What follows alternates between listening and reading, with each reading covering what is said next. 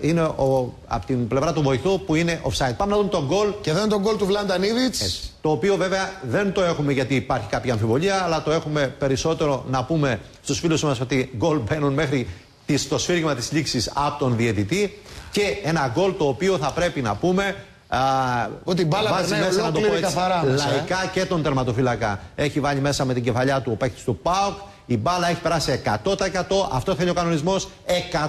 100% επαναλαμβάνω και έχει περάσει. Οι πολλές λήψει και η καλή κάλυψη από το Sky μας έδωσαν τη δυνατότητα να δούμε ότι αυτή η φάση είναι καθαρά, επαναλαμβάνω, γκολ το οποίο βλέπουμε τώρα στους δέκτες μας από μία άλλη λήψη, ξανά ακόμη μία α, λήψη την οποία έχουμε από πλαϊνή κάμερα για να δούμε πιο καθαρά εδώ τώρα ότι ο παίκτης, ο τερματοφύλακας έχει